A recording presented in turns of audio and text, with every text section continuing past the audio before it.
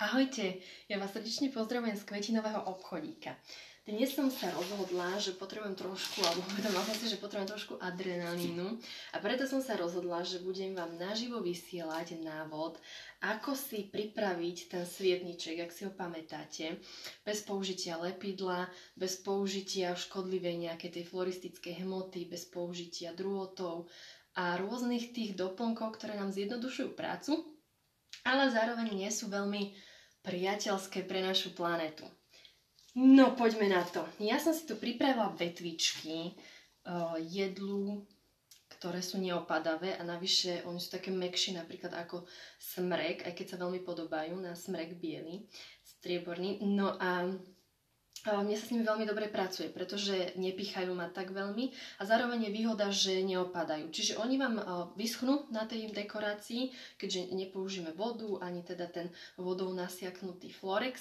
Vyschnú vám tam, vyzerajú v podstate rovnako ako teraz, keď sú svieže a zároveň sa nestane to, že keď do toho drgnete, tak vám to ihličie začne opadávať. Tak veľmi rada používam napríklad tento ihličnan, potom rôzne tuje, ciprušteky, Tie sa po usušení trusia, drobia, ale uh, nie je to opäť také strašné ako napríklad ten smrek, že vám opadne všetko ihličie a zostane vám holá halúska. Veľmi atraktívnym a populárnym prvkom je napríklad eukalyptus. No a aby sme boli úplne trendy, použijeme ešte takéto tie trávičky, neviem, či ich dobre vidieť, ale určite ich poznáte. To sú teraz tie veľmi oblúbené trávičky z lúk, ktoré si nazbierate prakticky kdekoľvek na prechádzke. Čo ešte budeme potrebovať? No túto cezmenu, čo som ukázala hneď na začiatku, len ja som si ju ešte nepripravila, že aspoň na ne vám ukážem, ako si zostrihame jednotlivé konáriky, halúsky na nejaké takéto menšie, aby sa nám s nimi dobre pracovalo. Ideálne si to urobiť dopredu, aby ste si to potom, uh, tento materiál nepripravovali, že už budete mať plné ruky toho viazania tej dekorácie a potom zistíte, že hups, ešte si potrebujem ostrihnúť ďalšiu vetvičku. No, viem o čom hovorím. Neraz to je môj prípad. Cezmina je krásna, ja si bez nej tiež neviem veľmi predstaviť vianočné dekorácie. Problém je, že že, že, že je prosto pichlavá. Ja neviem, asi to nie je dobre vidieť na tomto videu, vďaka Bohu, ale mám teda celkom doškyrané ruky e, s rôznymi tými tými, takými fliačikmi. Prosto cezmina je super krásna, iba že je naozaj veľmi, veľmi pichlavá a myslím si, že najpich, najpichlavejšia zo všetkého, čo v dekoráciách používam. Takže je to také trošku náročné s ňou niekedy pracovať a tiež nie je veľmi dobre ohybná, preto najmä v prípade menších dekorácií ju odporúčam používať e, tak doplnkovo. Nepoužívať ju vo veľkom, pretože mm, jednoducho zle sa s ňou pracuje. Nie je taká ohybná, neprispôsobí sa toľko, nevytvorí vám tvar, aký chcete, ale krásnym doplnkom je, čiže určite ju odporúčam používať s mierou a opatrne, hej, aby ste sa nepopichali. Myslím, že som ešte nespomínala, že budeme potrebovať aj uh, mach, v prípade tohto svietnička, dekorácie, ktorú idem robiť, by bolo fajn, vyhrnem si rukavy, už mi začína byť teplo z tej trémy, že vám tu rozprávam a dúfam, že sa ne, ne, ne, ne, nepomýlim. No, bolo by fajn, keby ste si napríklad v lese našli na starom kmeni na zemi padnutom taký ten machový koberček. S ním by sa vám pracovalo veľmi dobre. Ja mám taký mach u nás z farmy strávnika, ktorý ktorý si zberám, lebo uh, veľmi sa mi páči napríklad do venčekov. On je taký huňatejší, ten venček je potom taký taký prosto slobodomyselný ako ja, vyzerá aspoň. Ja vás všetkých srdečne zdravím. Uh, budem veľmi rada, keď mi pošlete nejaké srdiečka ale uh, za, za začiatku je toto moje prvé vysielanie naživo pri robení nejaké dekorácie a ja sa opred ospravedlňujem, že nebudem nejako schopná odpovedať asi na vaše otázky, lebo neviem sa sústrediť pri tvorbe a rozprávaní aj na to, aby som čítala. Ale ja sa to naučím a verím, že na budúce to už bude lepšie. Ale kľudne mi môžete mávať a pozdravovať ma a ja dúfam, že, že na nič nezabudnem. Vráťme sa k machu. Ehm, používam teda takýto strapatý strávnika, ale opakujem, že na konkrétne túto dekorácia na ten účel, ktorý si za chvíľku ukážeme, by bol lepší taký ten malinký machový koberček z lesa napríklad. No a potom by ste ešte mohli napríklad namiesto toho machu použiť lišajník alebo možno aj drevovlnu, ak by sa vám farebne hodila a, a uvidíme, povieme si ešte ďalej. Možno sa vám ukázala už všetko až na doplnky, ktoré použijeme úplne ku koncu. To sú šišky, sušené ovocie, škorica a, a nemôžu chýbať v kvetinom obchodíku tie naše malé pečené ozdôbky. No. Nádoby, použijem moje milované kokosové nádoby, ale tento aranžmánik, dekoráciu si môžete kľudne dať do košíka, do veľkej misy starej, mm, akože polievkovej, nie že tej veľkej, kde dáte polievku, ale z ktorej jete polievku, alebo do väčšej šálky, možno do nejakého starého črepníka, to je už na vás. Budeme potrebovať šišku, zápich na šišku, sviečku, že? No. Zápich na sviečku.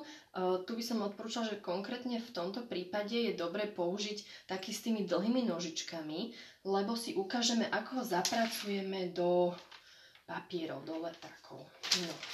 Nožničky potrebujeme tie jasné a ešte špagát namiesto drôtu. Lebo sa ľahšie kompostuje. Takže začníme Hopsa! Najprv tento um, zápich, akoby zapichneme, vidíte dobre, zapichneme akoby do machu, hej, tak reálne on tam pravda, že nedrží. Je to skoro iba niečo také, že dáme tieto dve veci dokopy. Preto to, hop, sa už mi idú padať letáky. Mám tu taký maličký stolik, ja totiž nenakrúcam v ateliéri, lebo tam už vôbec nie je miesto na nič, teraz pred Vianočnom zhone. Tam sa rozhodla, že to skúsim nakrúcať na komode a, a teda nevidíte to veľmi preto, aby ste nevideli aj, aj tu ostatné veci, ktoré máme, keďže je to v spálni. Tak ja potom budem musieť pozametať a tak ďalej. No, Mach máme, práve preto to by bolo lepšie mať ten koberček, aby sa vám tak nerozsypával. No a teraz uh, si môžete dať nejaký, ako keby, nazme to, že krycí papier. Prepichneme ho, že si nepichne pri tom do prsta, dávajte si pozor, keď to budete robiť. No, takto ho prepichneme. No, a tuto vidíme, vidíme, dúfam, že vidíme, tie nožičky z toho svietnika, z toho zápichu. A my sa budeme dávať ešte ďalšie letaky letáky z obchodov, staré noviny alebo papiere pokreslené, ktoré deti odsúhlasili, že nemusíme archivovať. Toto všetko môžeme použiť namiesto floristickej hmoty, pretože sú to vlastne papiere, ktoré sa dajú nejakým spôsobom ľahšie skompostovať, rozložiť. Prosto neurobíte taký, uh, nazme to, ťažko riešiteľný alebo neriešiteľný neporiadok keď budete potom túto dekoráciu sa pokúšať nejakým spôsobom zahodiť, alebo vám už doslúži. No, možno by som tam dala ešte jeden papier. Možno sa pýtate, že koľko tých papierov tam dať. No tak primerane. Toto je to, čo môj manžel v úvodzovkách miluje, keď mu poviem, že, že koľko to má ešte variť, tak primerane, koľko má toho dať, tak primerane. No ale skrátka, ide o to, že my teraz urobíme tu taký proste krčlanec, ktorý urobí takú krásnu stonku, prosto ten základ, ktorý nám poslúži namiesto tej floristickej hmoty. No a my tam poriadne uchopíme ten svietnik urobíme si takýto, no mne ten mach trošku opadáva, lebo to práve nie je ten koberček, ale nevadí, lebo jeho potom zafixujú tie vetvičky. Len zatiaľ to vyzerá tak, že dá to trošku práce, aby to všetko držalo pokope, ale bude to držať pokope. A bude to ekologicky držať pokope. Mimochodom, kým ja sa túto, s týmto mordujem, tak by som vás ešte veľmi rada pozvala Veronike Madleňakovej do Lokalik.sk. Nájdete ho aj tu na Instagrame. Ak sa mi podarí vzhľadom na moje technické začiatky pridať odkaz, tak veľmi rada ho pridám. Vy totiž takéto svietničky, čo ja teraz vyrábam, nájdete u nej v obchodíku na Orave. No, my si to tu ešte takto nejak aj vycentrujeme, aby nám potom tá sviečka nedržala na krivo. Základ máme, vyzerá úplne absurdne, ale je funkčný a sype sa z neho, ale zatiaľ iba. Teraz môžeme pridávať vetvičky. uh, aby som si to tu zase nezhodila. No, vetvičky si natáčame, nemôžem povedať, že, že určite takto. Proste natáčam ich podľa toho, ako sa mi to sem hodí, ako to pasuje. Niektoré smerom ihličkami dnu, niektoré smerom ihličkami von, alebo tak nejak nabok. Rôzne sa to všelijako dá skombinovať podľa toho, čo sa vám páči. A až keď tu mám niekoľko už tých vetvičiek daných, použijem špagát, ktorý sa mi tu zamotal a som veľmi zvedavá, ako sa mi podarí jednou rukou odmotať. Prosto to tá cezmina. Uh, takže ideme na to. Odmotáme špagát, ktorý sa mi zamotal. Akože ja normálne, keď to robím, tak ho použijem rovno z toho klopka, len som si už chcela pripraviť pre vás na toto vysielanie. No a teraz veľké stresy biesy, lebo toto je taký kľúčový moment, keď to začneme omotávať a urobíme si uzlíček, aby to držalo. Uzlíček, kde si ťa urobíme? Niekde tu. Niekde tu si urobíme uzlíček. Ja si to položím na ten stôl. Skúsim vás trošku natočiť, aby ste lepšie videli, jak budem robiť uzlíček. Ale nie, že by som ho vedela urobiť tak, že by ste si mali brať zrovna z tohto príklad. No, zase to dobre asi nevidíte. Nevadí. Prosto urobíte tam ten uzlíček, uzlíček, aby to dobre držalo.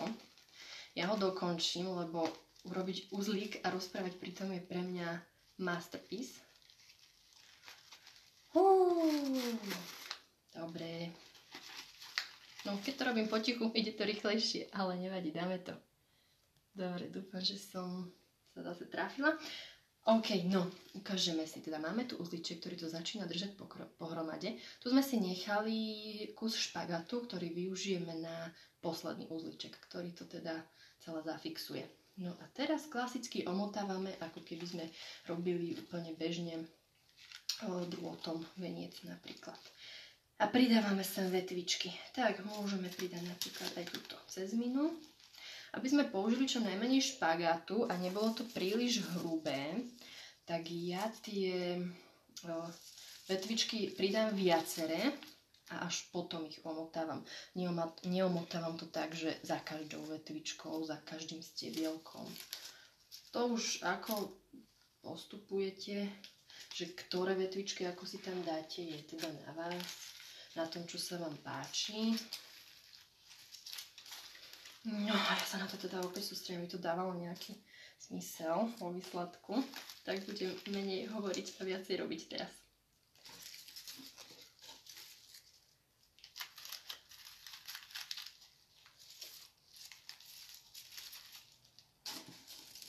Dobre. Zase cez mína.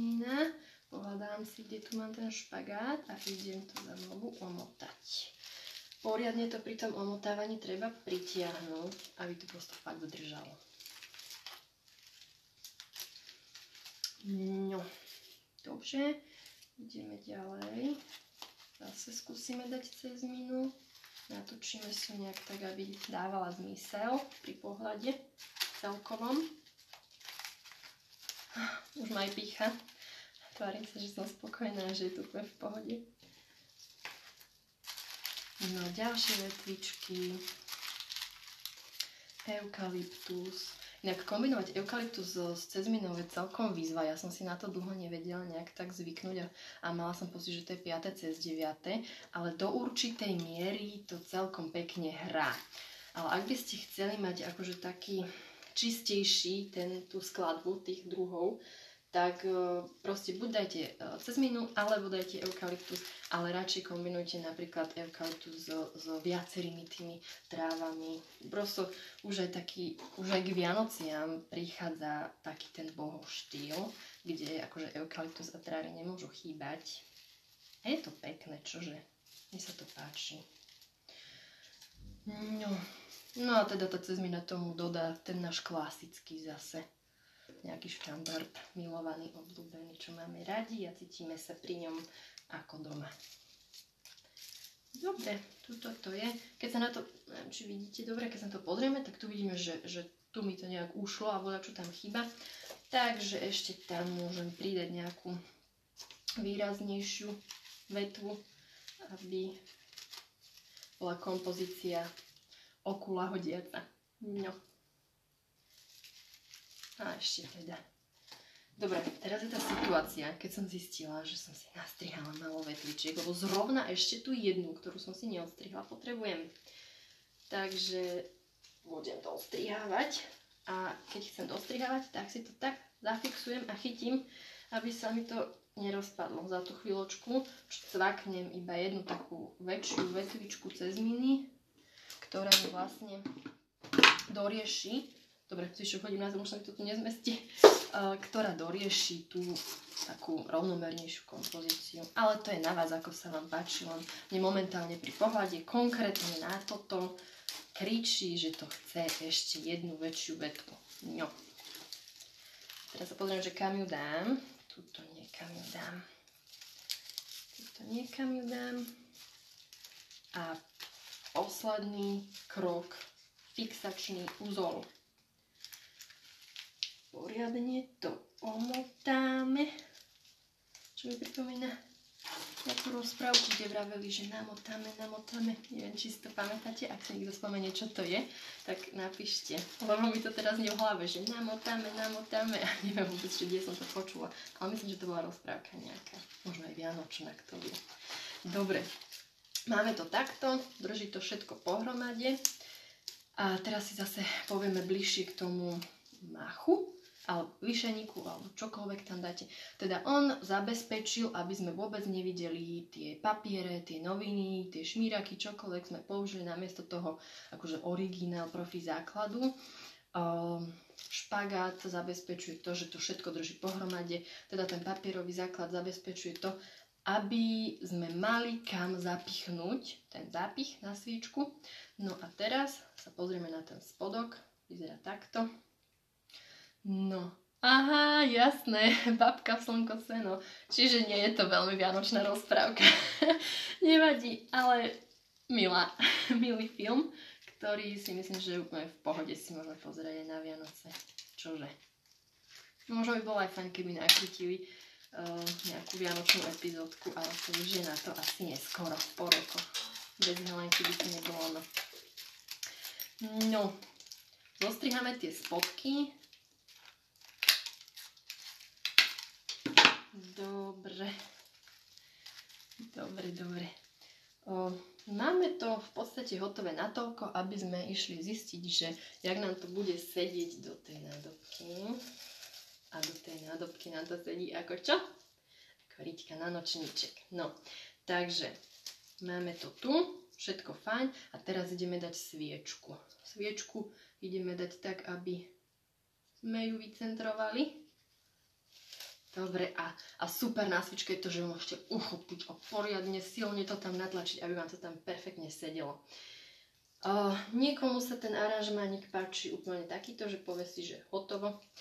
Super by bolo, keby ste mali cezminu s tými červenými bobulkami. Hold toho roku sa naša cezmina rozhodla, že žiadne bobulky mať nebudeme, preto používam vo vianočných dekoráciách napríklad šípky, sú veľmi krásne, aj keď niektorí, teda zákazníci alebo niektorí ľudia majú taký pocit, že šípky patria k jeseni a preto ich tam nechcú. Ale iní sú nadšení zo šípok.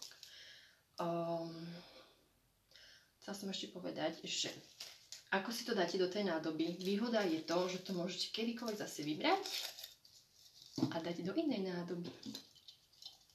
Šup. A máte bielú variantu, bielý variant, aby sme boli správni.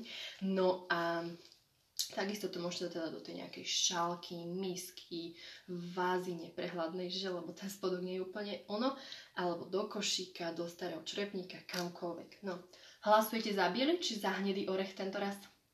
Čítam, pozerám. Hlasujte niekto? Biely či hnedý orech k tejto sviečke?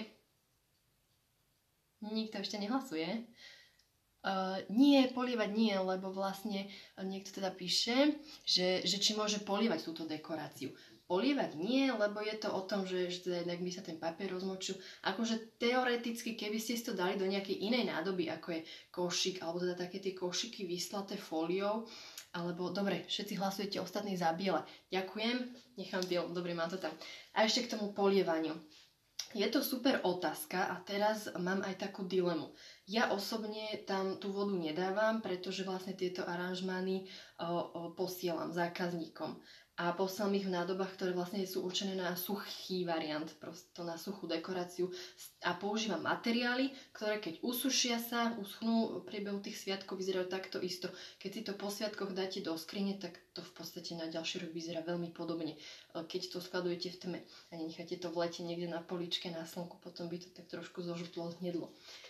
Ale ak si to urobíte doma, tak to si to pekne zviažete a dáte to do nádoby, ktorá nepresakuje tak ja si myslím, že to kľudne môžete zaliať opatrne a vydrží vám to dlhšie svieže.